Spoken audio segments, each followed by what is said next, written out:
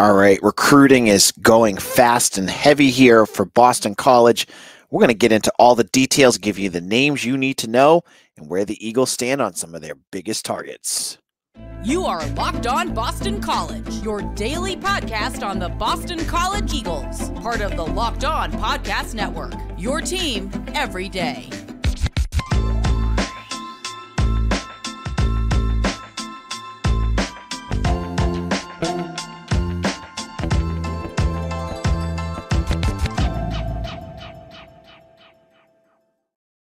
Hello, everyone. Welcome to Locked On BC. I'm your host, AJ Black, editor of Eagle Insider, part of the 247 Sports Network.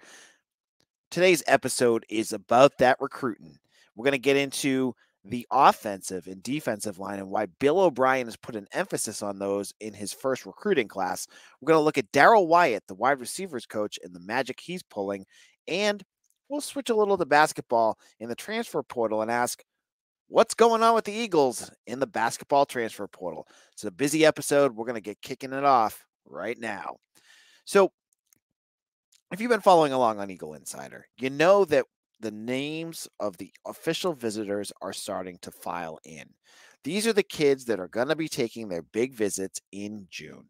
The ki- the recruits that have gone beyond just getting an offer gone beyond just watching a practice and are really serious about their relationship with Bill O'Brien and the staff at Boston College. These are recruits that you would consider are warm towards Boston College. And so, one of, you know, as we start to learn the names, there are two really big themes that have come up. And the first theme is Bill O'Brien clearly sees the emphasis that he needs to place on winning in the trenches. Now, that's the offensive line and the defensive line. And if you look at some of the offers that he's made and some of the visitors that he's had, a lot of these recruits are guys that are in the trenches. The big one that I have talked about before is Chris Vigna. Chris Vigna is from Bergen Catholic, one of those big schools in New Jersey that I felt like Jeff Hafley never really um, prioritized, but now it seems like there's a ton of Bergen Catholic kids coming towards BC for visits. They just had one, their kicker on on Tuesday was just on campus, but they've had quarterbacks. Uh, this is a school that's uh, run by Vito Campanile. You remember Anthony Campanile, who's working with Jeff Hafley now with the Packers. That's his brother. He, he's the coach there. Vigna is is a uh, much sought after kid uh, with offers from Pitt, Rutgers, Syracuse, uh, you know, any of the Northeast schools. A lot of Big Ten schools are looking at him. Uh, he's taken an official visit and an offensive lineman that it's just he oozes Boston College. This is a kid that would be a perfect fit for the Eagles. He's a three star. Um, I feel like he would, you know, it, it, I have, I, did I put a, I don't think I put a crystal ball in for him, but I'm pretty close to putting a crystal ball in for him if he if he takes his official visit. So you know you see kids like this. You see uh, Denzel Williams, who I'm going to get up on the screen right now. Denzel Williams, who is the um, one on the far left with the um, the afro. He's another offensive lineman, and this kid comes from Stepinac in New York. Again, you're starting to see some themes here, right? New Jersey, New York. You're going to see more with Massachusetts, some Pennsylvania. A lot of emphasis in this area. DJ Williams is another kid that has good offers that's taking an official visit. I uh, was on campus just a couple weeks ago. Uh, he's an offensive lineman. And then he came with his buddy, uh, Kadir, and I'm going to totally mess his name up. Uh, Dembale. Dembale is a defensive lineman. So you got the you got the offensive lineman, you get the defensive lineman, and he, they're both from Stepinac, which um, a lot of New York BC fans are telling me is a very popular school for undergraduates at BC. Um, and Archbishop Stepinac is got two coming for official visits. In addition to these two guys, you've seen guys like Aubrey Melvin, who is a defensive lineman from Maryland. Uh, again, the big theme I know a lot of folks want to know are any of these guys four stars? No. Do most of these guys have other Power Five interest? All of them do. All of them have Power Five interest. So at least that should get make you feel good. That every recruit that I've seen so far and that I've mentioned are guys that other programs want. So it's not just a BC thing. It's not just getting a diamond in the rough. You're getting you're getting some interest from guys on the offensive and defensive line that are going to be um want you know highly sought after. And, and of course, the big one on the defensive line is Tommy Rupley, who I think is going to be one of the biggest uh, battles that BC has. There's two, and we'll get in the offensive line in a second. Tommy Rupley is from Belmont Hills in Mass. I, Belmont Hills, the fact that they have so many guys that are in uh, college football recruiting right now is crazy because I, I don't think of Belmont Hills as a big football program, but man, they've got some good talent there. And Rupley, this is a guy that just got offered by Michigan State. He's got offers from Virginia, Penn State, um, and you know he's an edge. He's a pass rusher, uh, and he's going to be here for for an official visit too. Then on the offensive side, there's Hardy Watts, another local recruit. So tons of offers and good quality recruits. I think that's what's really the, the emphasis here and they are all in this catch area, right? You're seeing Maryland, Pennsylvania, New Jersey, Massachusetts, Connecticut. Bill O'Brien is making the offense and defensive line for the most part. You get some kids that are going to come that are from different areas, but for the most part, it's a Northeast group. He's put that emphasis there. In a moment, I'm going to get into the other position, which is wide receivers, we're going to talk about, which is completely the opposite. But in an area where you're going for those blue collar guys, the guys that are going to grind, that are tough, that are going to battle and develop, you're going for that area of the country. And I think that's a good, solid strategy to go with. I I have been impressed so far with the with the with the uh, recruits that he's gone after, and I think he's had some success. Jeff Commission, the uh, defensive line coach, I feel like is a good he's a good recruiter. He's doing a good job connecting with the defensive line. Matt Applebaum doesn't have to do a whole lot because he's shown it on the on the field. Last year, offensive linemen saw what BC did last year. It was almost a resurgence of O line U. And now that you have Bill O'Brien on top of that, an NFL guy, it, it's like this is easy stuff to, to get these offensive linemen to come and t- check out BC now. So, good start there. They have not landed any commitments on the offense and defensive line yet. They've got a number of guys that are interested. We'll have to see how this team, this coaching staff closes on them. Because as I said, they all have uh, interest. We already saw Samson Owanha Onawaha from uh, Belmont Hills again in Massachusetts commit to Duke.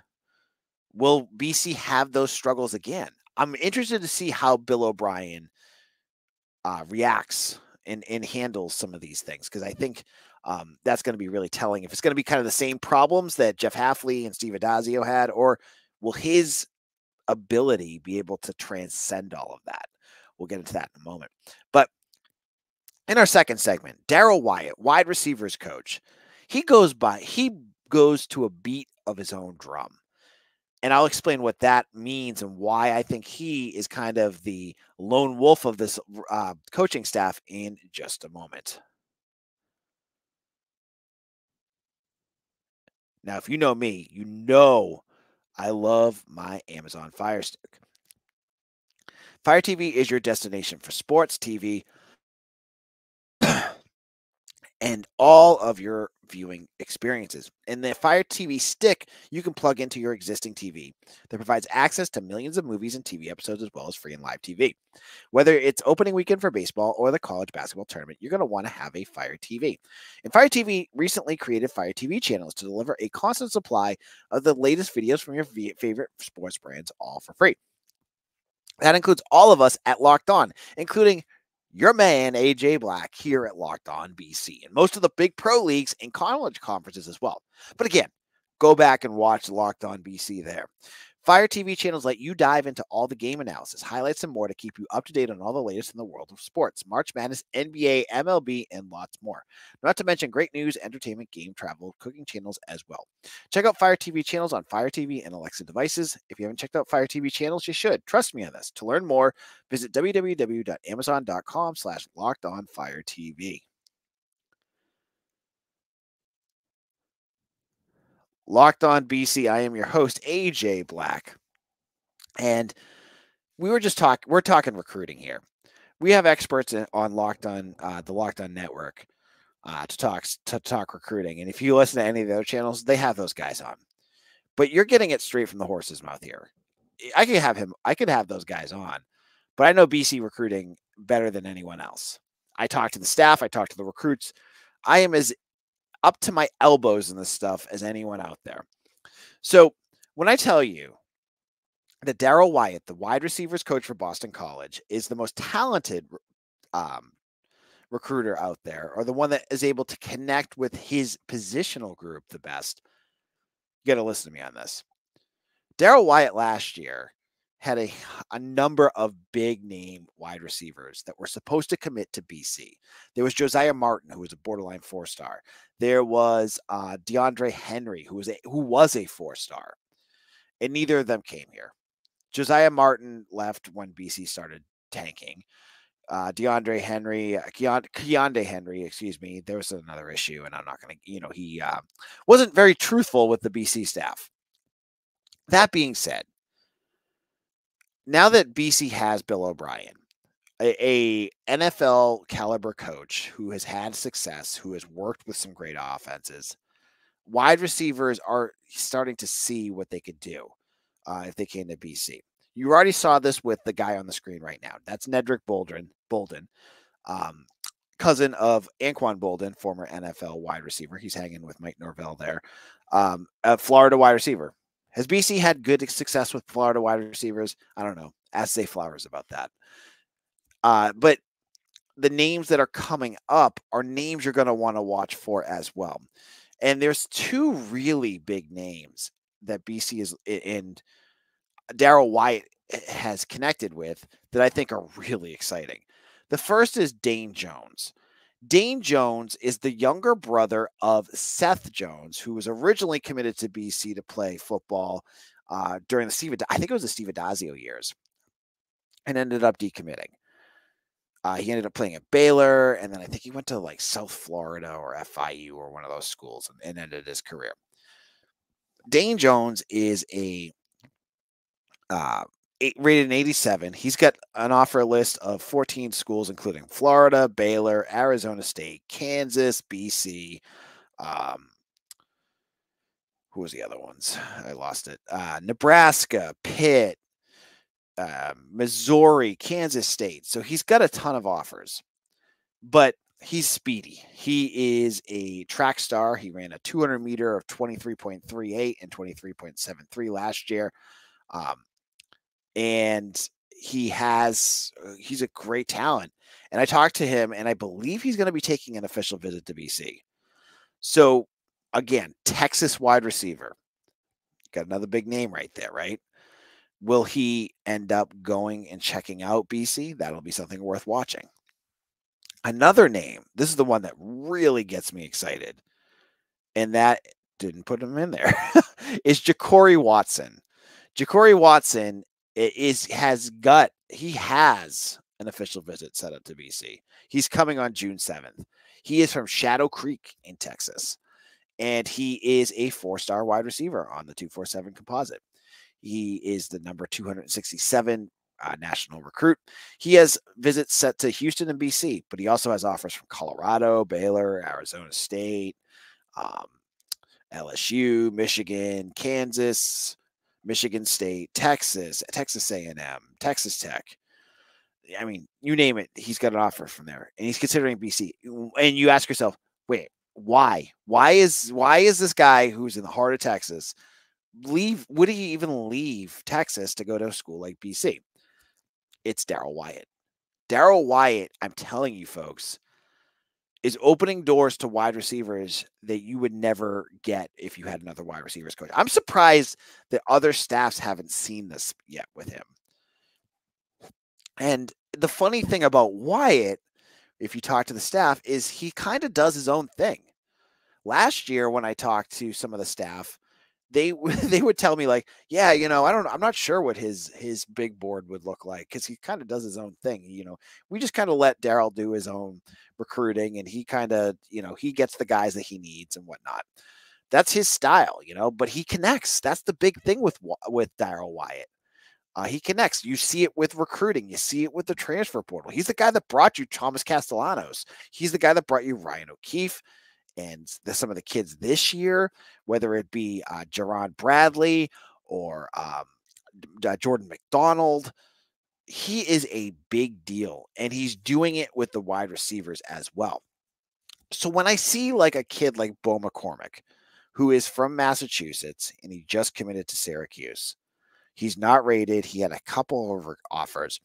He's a wide receiver, and he, he's a running back too. When I see him commit and people are like, "Oh, BC's, you know, they're not closing the they're not closing the the the fence around Massachusetts." It's a position where BC's can afford to go outside their their walls. They've got some big uh, poker, you know, big sticks in the fire right now. And they've got a couple other names. I'm not sure what they're going to be looking at in terms of position, but even locally, you see guys like uh, Charles Bell, from St. Thomas More, who is a um, who's going to be taking an official visit, or Jordan Houston, who's his teammate. They could, but well, either or could play athlete or I mean a wide receiver or cornerback. But you can see that he's got a, a wide net around this country that is going to attract some big name wide receivers. And it's so cool for Boston College, a, a, school that has not typically had success at wide receiver, to continue to start putting down a um a, a uh, foundation for good wide receivers. And of course, it starts with Zay Flowers, but you're seeing it continue and continue to build. Um, and it's a lot of that has to do with Wyatt. Now, in our final segment, I want to talk about the transfer portal in basketball and ask two big questions. What the heck is going on with BC? And who are some names that they could be looking at? I'll answer both of those in just a moment.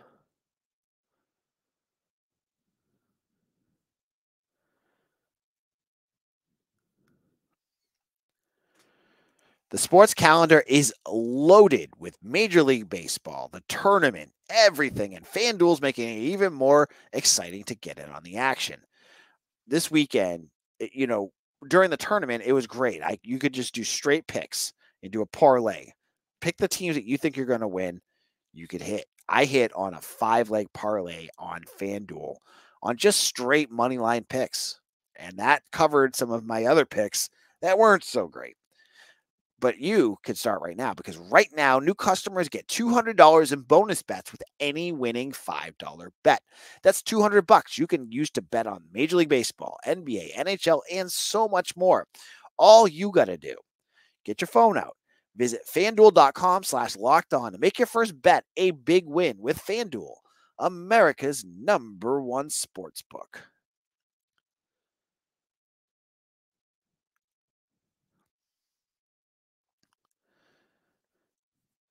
This is Locked On BC. I am your host, AJ Black, and we're wrapping things up with a little bit of basketball talk here.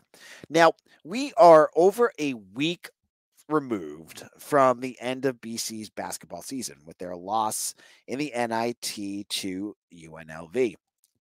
And since then, the transfer portal has seen 12, I think it's 1,200 players enter in Division One basketball. And the grand total of Boston College players at the time of this recording, of course, things could change as I'm recording this, is a grand total of zero. There has not been a single player entering the portal. And it interests me for two reasons.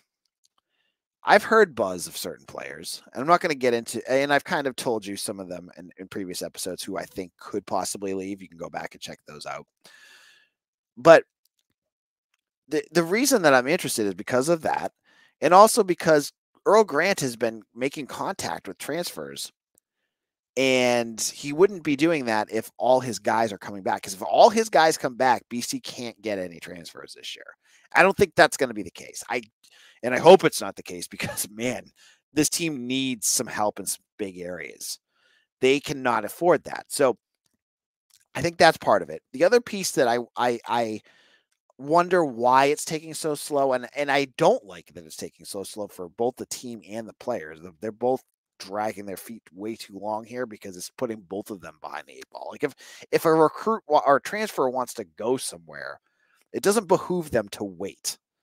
They're going to be losing spots on some of these other schools because their other teams are making moves right now. But there was Easter break. There was probably time that he wanted to let them to de- decompress and think about it.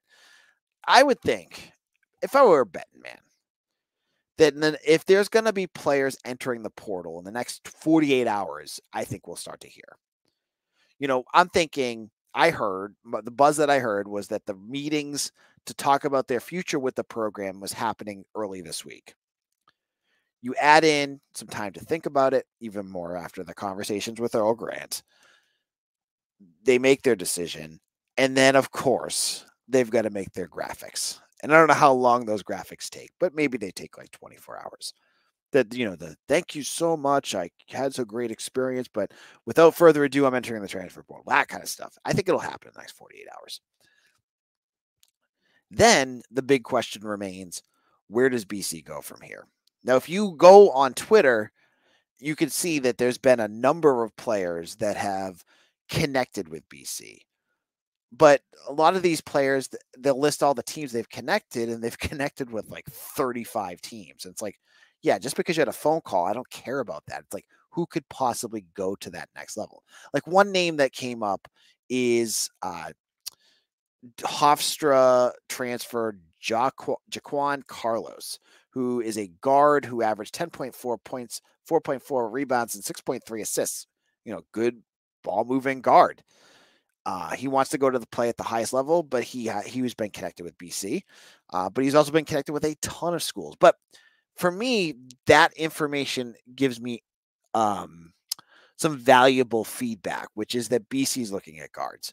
There's been a bunch of other guards that they've looked at from a variety of other teams.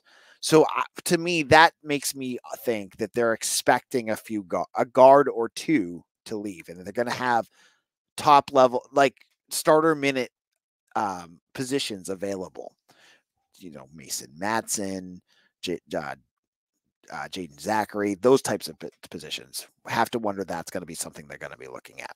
Another name that has popped up that I, I think fits a lot of what BC needs is uh, Notre Dame uh, forward. I think he's a forward, power forward, uh, Carey Booth, who is from New Brewster who I believe is is where the the Langford brothers play uh, played. There's been a bunch of BC players that have gone through that program. He is from Notre Dame. He was a freshman this year. He's 6'10.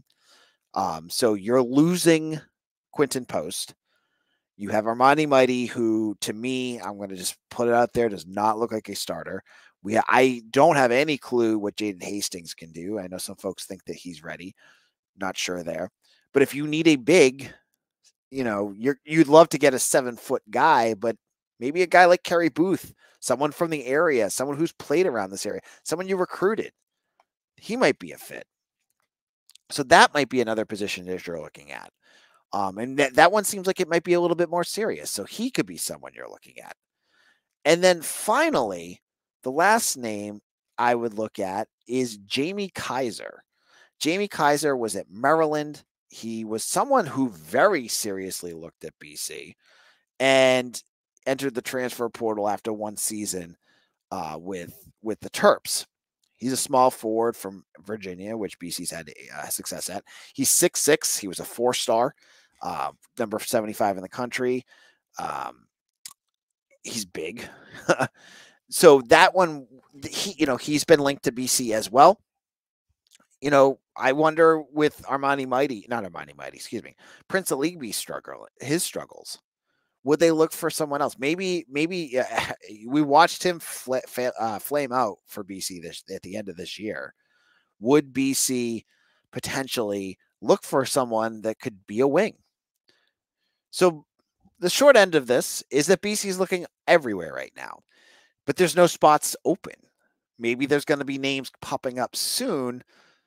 That's going to be what we're going to be watching for. And all these names that are popping up, what you know, you you you just look at what they're looking at and go, huh, that seems that makes a lot of sense, or that that's something that they could use.